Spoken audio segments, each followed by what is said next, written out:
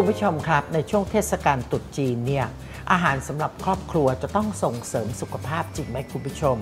วันนี้อาจารย์ยิ่งศักดิ์มีตำรับเด็ดมาฝาก นั่นก็คือบะหมี่กระดูกหมูอ่อนตุ๋นเครื่องยาจีน ไม่ใช่แค่อร่อยเท่านั้นนะคุณผู้ชม ยังมีเคล็ดลับในการตุ๋นกระดูกหมูอ่อน ให้มีความนุ่มนุ่มน้ำแกงยังคงใส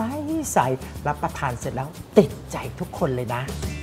สำหรับเมนูในวันนี้เราใช้ชุดหม้อแขกแฮปปี้ 20 และ 22 เซนติเมตร มีหูหิ้วตราหัวมาลาย ที่สามารถใช้ได้ทั้งประกอบอาหาร และบรรจุอาหารเก็บไว้นำไปรับประทาน ใช้ง่ายสะดวกสบาย อย่างเช่นเมนู บะหมี่กระดูกหมูอ่อน ตุ๋นเครื่องยาจีน เริ่มด้วยการใส่น้ำลงไปในหม้อนำขึ้นตั้งไฟพอเดือด ใส่บะหมี่ไข่ลงลวก ตักขึ้นเตรียมไว้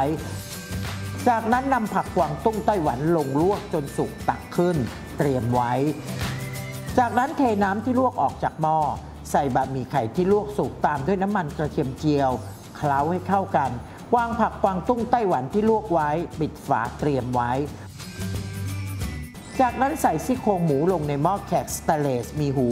22 เซนติเมตรตราหัวมาลาย ตามด้วยเห็ดหอม เครื่องตุ๋นยาจีนและน้ำนำขึ้นตั้งไฟใช้ไฟอ่อน จากนั้นคนให้เข้ากัน ต้มนานประมาณ 1-2 ชั่วโมง เคล็ดลับในการทำให้กระดูกหมูของเราเปื่อยนุ่ม และน้ำซุปยังคงใสสวยไม่ขุ่น คือต้องเคี่ยวด้วยไฟอ่อนจนกว่าจะสุก เมื่อกระดูกหมูเปื่อยสุกได้ที่แล้ว ปรุงรสด้วยเกลือไทยซีอิ๊วขาวซอสเห็ดหอมซีอิ๊วดำหวาน น้ำตาลทราย และน้ำมันงาคนให้เข้ากัน ปิดไฟเตรียมไว้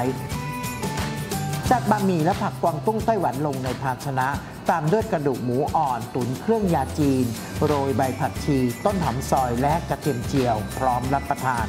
ชุดหม้อแขกแฮปปี้ 20 และ 22 เซนติเมตรตราหัวม้าลาย ผลิตจาก stainless steel คุณภาพ food grade แข็งแรง ทนทาน กระจายความร้อนได้ดีทำให้กระดูกหมูอ่อน ตุ๋นยาจีนของเราอ่อนนุ่มน่ารับประทาน คุณผู้ชมสามารถติดตามเคล็ดลับคู่ครัวอีกมากมายได้ที่ Facebook ซีบ้าไทยแลนด์ตราหัวมาลาย